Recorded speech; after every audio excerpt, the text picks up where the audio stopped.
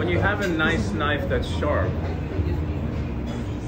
you know, you can do, I think the shape of things will affect flavor. All right, so if you're gonna do a scallop crudo, you want a very thin, paper thin scallop. And if you try and do this with a regular knife, it's just not gonna cut like this. Yeah, this is actually checking out.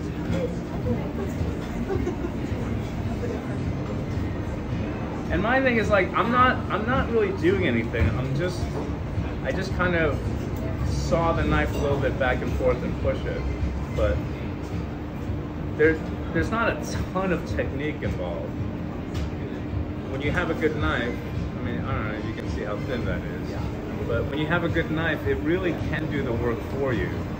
And you hopefully trust the knife that it's going to do what it says it's going to do, and all you're doing is kind of guiding the knife through the work.